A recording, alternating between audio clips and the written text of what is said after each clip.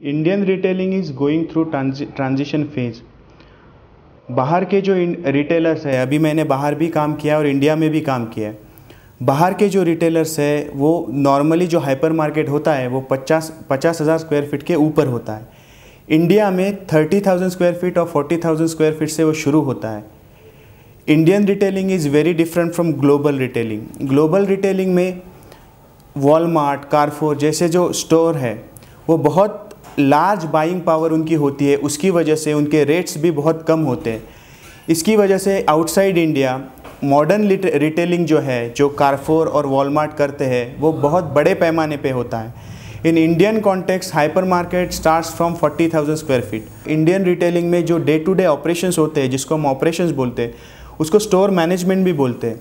हर दिन हर दिन, हर वक्त, हर सेकंड आपको नया एक्सपेरिमेंट आता है ऑपरेशनली काम करने के टाइम हज़ारों कस्टमर आपके यहाँ पे विज़िट करते हैं. उनको क्या कहना है, क्या नहीं कहना, उनके एक्सपीरियंसेस उनके प्रॉब्लम्स आपको एवरी डे सॉल्व करने पड़ते हैं. वो करके भी in order to function smoothening of the process you require so much of time the front end of retailing is much more glamorous. But at the back end, you have to go through lots of hurdles. Indian retailing अभी transition phase में होने की वजह से Indian retailing में बहुत सारे जो हर्डल्स है, वो बाहर की तरह नहीं है।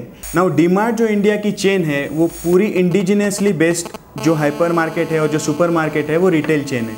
उनको कहीं से भी बाहर से सोर्स नहीं किया गया लोगों को so the in order to build hypermarket और योर सुपर मार्केट और रिटेलिंग बिज़नेस अभी ये जो डीमार्ट है, वो ग्लोकल स्ट्रैटेजी का बहुत अच्छा एग्ज़ाम्पल है। क्योंकि जो ग्लोबल स्टैंडर्ड है, वो उन्होंने लोकली इम्प्लीमेंट किए गए हैं। लोकल टेस्ट जो कस्टमर की है, उनके हिसाब से उन्होंने प्रोडक्ट सोर्स किए हैं और अपने स्टोर में रखे हैं। वो डिसेंट्रलाइज है। डिसेंट्रलाइज का मतलब वो कभी भी स्टोर मैनेजर कुछ भी रिक्वायरमेंट वेंडर को देके वो माल मंगा सकता है। हाइपर मार्केट में विच इज़ सेंट्रली ऑर्गेनाइज ऐसा नहीं होता। जो भी कस्टमर की रिक्वायरमेंट है, वो आपको सेंट्रल ऑफ़िस को भेजनी पड़ती है। उसके बाद वो डिसीज़न होता है और उसके बाद आप वो प्रोडक्ट ले सकते हो। इसको, इसके लिए सात day seven days to ten days का टाइम आपका नॉर्मली जाता है, जिसमें आप जो अपॉर्चुनिटी है जल्दी प्रोडक्ट लेने की और वो बिज़नेस बढ़ाने की, उसको आप खो देते हो। इंडियन रिटेलिंग में डीमार्ट एक बहुत सक्सेसफुल आज के डेट में इंडिजिनियसली बिल्ड की गई स्ट्रैटेजी है रिटेलिंग के लिए। Another concept which is building in India now hyper market start from forty thousand square feet why hyper markets are so famous outside India because of large buying power large buying power मतलब suppose आपके देश में पचास अगर store है तो at a time उसका कोई प्रोडक्ट आप लेने के लिए जितना पैसा देते हो और सामने वाला वेंडर तो निगोशिएशन स्किल्स और आपकी निगोशिएशन कैपेबिलिटीज़ ऑटोमेटिकली ज़्यादा हो जाते हैं। अगर मैं सौ प्रोडक्ट ले रहा हूँ तो वेंडर मेरे को दस रुपये में देगा।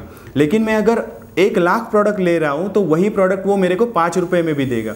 तो उसकी वजह से हाइपर मार्केट कम से कम रुपीज़ में बाय करते हैं और उसको फिर अपनी फिक्स कॉस्ट जैसे कि इलेक्ट्रिसिटी है एसी का पावर है कस्टमर के लिए जो टेक्निकल्स जिसमें मतलब आईटी सिस्टम वगैरह जैसे लोड करना है, उसका जो खर्चा है, ऊपर से जो लेबर कॉस्ट है, उसको प्लस करके वो सात या आठ रुपये में बेच देती है। तो वैसे भी कस्टमर को दो रुपये का फ़ायदा है ही है। तो उसकी वजह से जो हाइपर मार्केट है, वो आज की डेट में बहुत ज़्यादा फ़ेमस हो रहे हैं। इंडिया में आज की डेट में F D I that is foreign direct investment is not allowed above fifty percent उसकी वजह से बहुत सारी कंपनीज़ रुकी हुई है इंडिया में पैसा पंप करने के लिए। लेकिन जो डिस्ट्रीब्यूशन चैनल है, जैसे कि टेस्को वॉलमार्ट ये जो डिस्ट्रीब्यूशन चैनल है उसको आज भी बहुत सारी कंपनीज़ बाहर से सपोर्ट करती है। जैसे for example Bharti Walmart Walmart distribution chain handle करता है भारतीय फ्रंट एंड हैंडल करता है। Same like Star Bazaar Tata Tesco Tesco distribution channel handle करता है front edge is front end is Tata so so, ये जो दोनों का मिलाप है उसकी वजह से एक जो स्ट्रैटेजी बन जाती है उसकी वजह से इंडिया में हाइपर मार्केट स्लोली स्लोली ज़्यादा आ रहे हैं। अभी टायर टू सिटी में भी वो हाइपर मार्केट ज़्यादा बन रहे हैं। पूना में स्टार बाज़ार अगले चार महीनों में और तीन मार्केट ओपन करने जा रहा है और Shopper Stop already in orbit में आ गया है।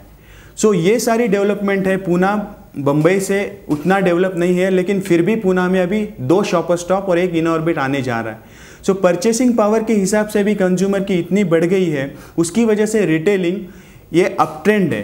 अभी 608 टका ऑर्गेनाइज रिटेलिंग में लोग हैं।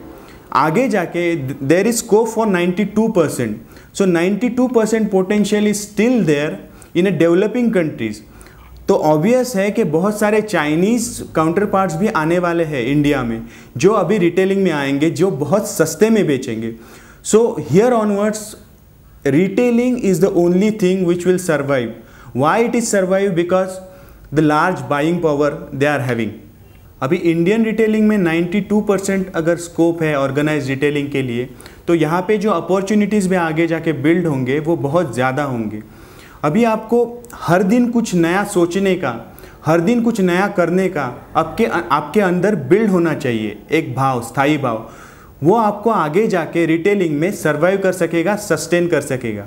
अभी 92 परसेंट स्कोप है इंडिया में स्टिल ऑर्गेनाइज रिटेलिंग के लिए। हाइपर मार्केट्स भी बहुत आ रहे हैं। तो बहुत ज़्यादा लोगों की ज़रूरत आगे पड़ेगी इस सेक्टर को सर्वाइव होने के लिए। Right from C S A that is customer service associate और कस्टमर सर्विस एग्जीक्यूटिव लोग लगते हैं जो मिनिमम उनका क्वालिफिकेशन रहना चाहिए, वो ट्वेल्थ पास रहना चाहिए। ऊपर डीएम जो डिपार्टमेंट मैनेजर रहते हैं, वो एमबीए या ऊपर के जनरली लिए जाते हैं।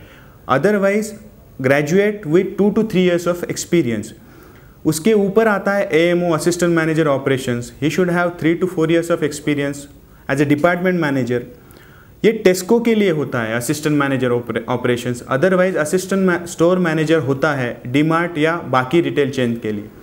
उसके ऊपर एक स्टोर मैनेजर रहता है जिसको सात से आठ साल का एक्सपीरियंस लगता है. तो ये सारे हैरार की या यहाँ पे अगर लोग लगने वाले हैं आगे जाके तो प्लेसमेंट भी उसी हिसाब से होगी आगे जाके एम कॉलेजेस में और एम्प्लॉयमेंट भी उसी तरह से बढ़ने वाला है। हाइपर मार्केट ये 40,000 स्क्वायर फीट से ऊपर होता है। वो छोड़ के एक वैल्यू रिटेलिंग ये अलग कॉन्सेप्ट है रिटेलिंग का। वैल्यू रिटेलिंग में भी विजुअल मर्चेंडाइजर्स एचआर फाइनेंस ये स्टोर लेवल पे लगते हैं। उनके लिए भी अलग से रिक्रूटमेंट होती है। तो ओवरऑल रिटेलिंग में बहुत ज़्यादा स्कोप है एम्प्लॉयमेंट के लिए, लेकिन उसके लिए राइट ह्यूमन रिसोर्सेज होना चाहिए। राइट ह्यूमन रिसोर्सेज के लिए training and development is most and most important part of to uplift the person उसको बोलने का तरीका होना चाहिए। तरीका मीन्स ओवरऑल कैसे हाय गुड बाय हेलो ये सारे जेस्चर्स और ये सारे एटिकेट्स उसने सीखने चाहिए। बाद में कस्टमर को कैसे ग्रीट करते हैं? इवन आप कैश टिल पे भी अगर खड़े हैं as a cashier you should greet customer it will give him all together different feeling उसको कोई ग्रीट करता है तो उसको एक स्टेटस सिंबल होता है उसके लिए। तो वो आपकी कस्टमर सर्विस है, वो आपका ओवरऑल कस्टमर सेटिस्फैक्शन होता है एक्सपीरियंस होता है। कस्टमर हर टाइम पैसा कम होने की वजह से ही आपके स्टोर में आता है, ये गलत है। आपके प्राइसेस कॉम्पिटिटिव होने चाहिए, लेकिन कस्टमर को ओवरऑल बास्केट कंप्लीट करने के लिए हर कोई चीज़ आपके यहाँ पे कन्वीनियंटली मिलनी चाहिए। आज की डेट में लोगों को, के पास टाइम नहीं रहता। सो परचेसिंग पावर भी बढ़ गई है। उसकी वजह से एक अंडर वन रूफ उनको ऑल द रिक्वायर्ड कैटेगरीज और उसको, उनको सामान चाहिए। तो वो आप अगर अच्छे तरीके से दे पाओगे हाइजीन आपका अच्छा होना चाहिए, आपके प्राइसेस उधर लगे होने चाहिए प्रमोशन एग्जैक्टली कम्युनिकेट उसी तरह से होना चाहिए कस्टमर को। हाइजीन होना चाहिए और कस्टमर सर्विस होना चाहिए। ग्लोबली यही पाँच पैरामीटर किसी भी कंपनी में रहते हैं in order to survive operations आपको सेंट्रली अगर बाइंग अच्छी तरह से हो रहा है, कम प्राइस पे हो रहा है, लेकिन उसका एग्जीक्यूशन ऑपरेशनली अच्छा नहीं हो पा रहा है तो कस्टमर को at the end of the day अच्छा प्रोडक्ट नहीं मिलेगा। आपके वेयर हाउस में वो अगर पड़ा है, वो इसका शेल्फ लाइफ खत्म हुआ, वो एक्सपायर हो गया then you are responsible for it so not only buying but equally important is your operation and for that right human power retailing का फ्रंट एंड कितना भी सुहावना हो, लेकिन उसका बैक एंड में काम करने के लिए उतना ही आपको कष्ट करना होता है। रोज़ 12 घंटा या 14 घंटा आपको काम करना होता है जब आपका नया मार्केट शुरू होता है। क्योंकि सारी चीज़ें एक जगह पे एक लाइन में लाने के लिए आपको बहुत कष्ट पड़ते हैं, क्योंकि आपका हर बंदा, हर लड़का या लड़की जो कस्टमर सर्विस एग्जीक्यूटिव है, हर जो ह्यूमन रिसोर्स है, वो अलग अलग कैपेबिलिटीज़ के होते हैं। तो आपको सबको स्ट्रीमलाइन करने में बहुत दिक्कत होती है, और एक बार आप स्ट्रीमलाइन कर पाओगे तो आपका रिटेल वो रिटेलिंग या हाइपर मार्केट सक्सेसफुली ऑपरेट होता है। अभी आपको रोज़ 12 से 14 घंटा अगर काम करना है तो आपको लाइकिंग होनी चाहिए। You should really fond of whatever you are doing that is retailing अगर आपको उसमें सिर्फ़ ग्लैमर दिखता है, इसलिए आप आते हो तो यू कैनॉट सस्टेन आपको अच्छा करने की चाह होनी चाहिए, मैं कस्टमर को कैसे ज़्यादा दूँ, कैसे अच्छा दूँ, कैसे उसके साथ बात करूँ इंटरेक्ट करूँ so that I will develop myself and develop company and also मैं कंपनी का सेल कैसे बढ़ाऊँ यह आपके ब्लड में होना चाहिए, वो जिस दिन इम्बाइब हो जाएगा उस दिन आप अपने आप से ही काम करना शुरू करोगे। रिटेलिंग ये बहुत अच्छा आगे जाके एक इकोनॉमी का पार्ट बनेगा और उसमें बहुत सारे एम्प्लॉयमेंट भी आएगा। लेकिन उसके लिए अगर आप सस्टेन कर सकते हो उस फ़ील्ड में तो ही और आपकी अगर लाइकिंग है तो ही इस फ़ील्ड में आओ। अन्यथा कोई दूसरा फ़ील्ड भी उतना ही अच्छा होगा आपके लिए।